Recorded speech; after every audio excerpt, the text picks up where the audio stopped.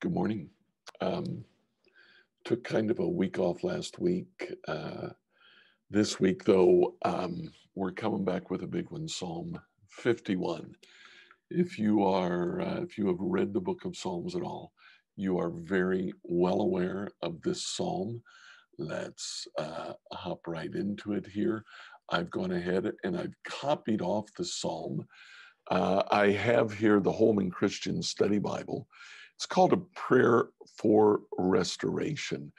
And in the in the uh, introduction to the psalm, part of the text is that this is a psalm of David when the prophet Nathan came to him after he had gone to Bathsheba.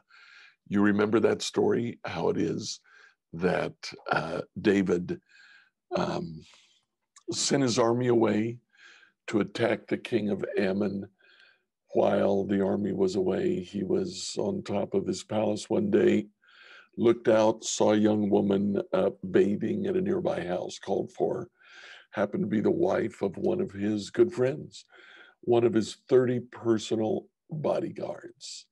He slept with her, she became pregnant. Uh, he took Bathsheba into his harem and um, probably people's first thoughts was, uh, oh, how nice the king is caring for the wife of uh, his friend. Um, then Bathsheba begins to show that she's pregnant. Nobody in Israel is fooled. Everybody understands what it is that's happened. Uh, David thinks he's pulled the wool over everyone's eyes. He had sent uh, her husband to the front of the battle to be killed. And uh, Nathan approaches David, tells him a parable. Uh, David doesn't know it's a parable. David thinks it's a real story of a very poor man who had nothing but a little ewe lamb. And uh, he loved the ewe lamb like it was a daughter rich man lived beside him. Uh, friend came to visit the rich man. He didn't want to kill his own animals for food. So he went and he stole the little ewe lamb of his neighbor and uh, killed the lamb, fed his friend. Nathan finishes the story. David is incensed jumps up on his throne, starts swinging his sword around. He says, Bring the man to me. I'll take care of this right now. And Nathan says very simply, David, you are the man. The sword clatters to the floor, and, and David says, What have I done? And he realizes that by killing Uriah the Hittite, uh, by taking Uriah's wife, he has sinned. Begin the psalm here. Be gracious to me, God, according to your faithful love, according to your abundant compassion. Blot out my rebellion, completely wash away my guilt, cleanse me from my sin, for I'm conscious of my rebellion. My sin is always before me. Against you, you alone, I have sinned and done this evil in your sight. So you're right when you pass sentence. You're blameless when you judge. Indeed, I was guilty when I was born. I was sinful when my mother conceived me. We're going to stop there because this is indeed the first section of the psalm there is no Selah in the psalm. There are no uh, interruptions to what David is saying. But we notice here in the first five verses, David focuses on his sin. So let's take a look at the words that he actually uses to describe his sin. He uses the word rebellion and he repeats that word. Um, it occurs at least twice here. Then he uses the word guilt. And if you'll notice, he comes back and he uses the word the word guilt uh, uh, multiple times. He refers to sin. And again, he repeats that several times. And then finally, he uses the word evil. Um, four different words that uh, David uses here uh, to describe his own evil. If we look at this, I have logos. Uh, we're going to right click on the word rebellion and then look up the Hebrew word. It's the word for transgression. Let's just make a note of that. Uh, we need to not do that anymore, don't we? Rebellion is the word transgression. The word guilt, iniquity, guilt, or the punishment of iniquity. He talks about sin Sin is uh, the generic word for sin. It's actually the word for a sin offering. A uh, little, a little hint here. When the Bible, uh, when the Old Testament talks about a sin offering, the sin is always the sin of uncleanness. The sin offering is to make man clean so he can enter the temple again. And then finally, he uses the word evil.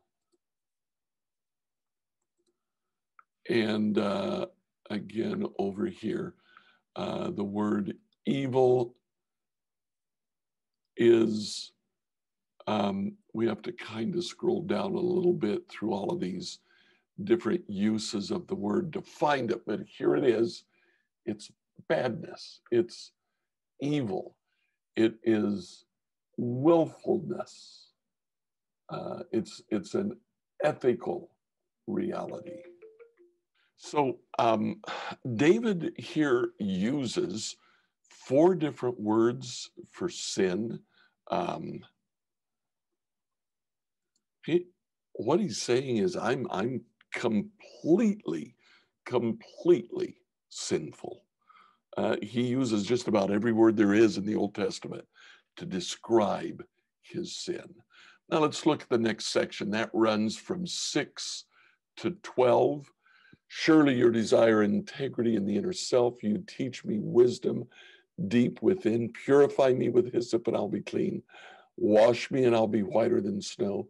Let me hear joy and gladness. Let the bones you've crushed rejoice. Turn your face away from my sins and blot out all my guilt.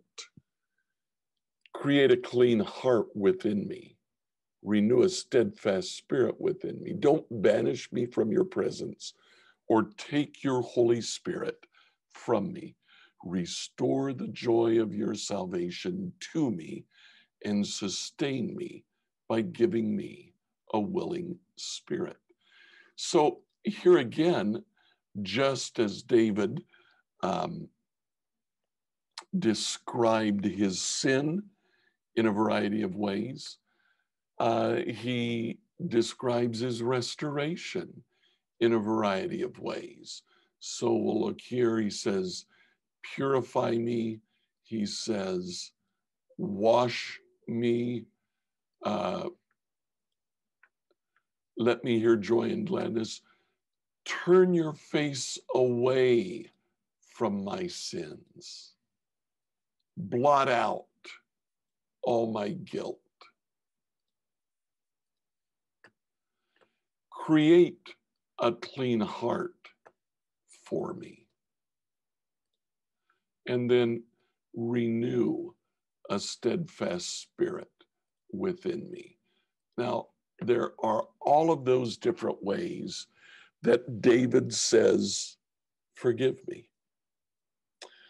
Um, we can look at the at the uh, the verbs that are used here.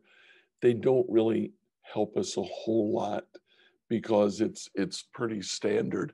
The only thing that I wanted uh, to mention here really is the fact that uh, David uses David uses six different ways to say forgive me to God just as his sin is multifaceted,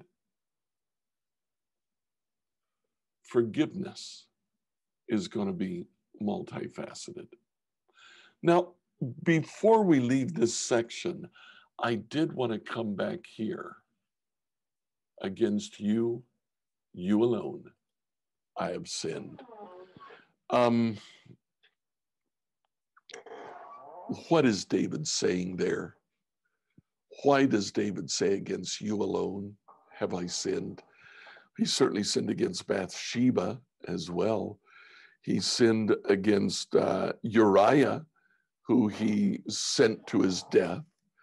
He sinned indeed against the nation.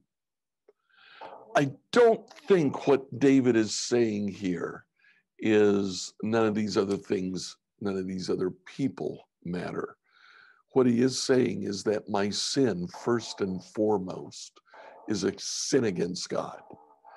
Um, instead of you and you alone, I wonder if maybe even a better translation might be against you primarily, I've sinned.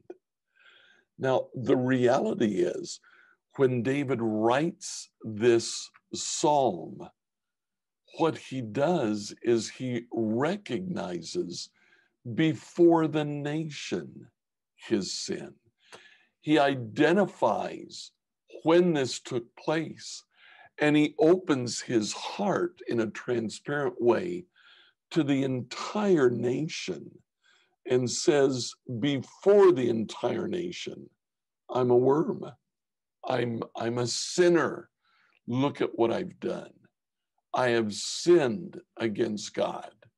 Only God can forgive me. Now he begins to say things like, Purify me, wash me, turn your face away from my sins, blot out my guilt. Then he comes down to it. He says, Create a clean heart for me. And there he uses the term that's used in Genesis 1 1. In the beginning, God created the heavens and the earth. This is something totally new for David. But then he says, renew a steadfast spirit within me. Bring this back. His sin has placed a barrier between himself and God. He asked God to renew that steadfast spirit. Then in the last section, David says, I will teach the rebellious your ways, and sinners will return to you. Save me from the guilt of bloodshed, God, God of my salvation. My tongue will sing your righteousness. Open my lips, and my mouth will declare your praise.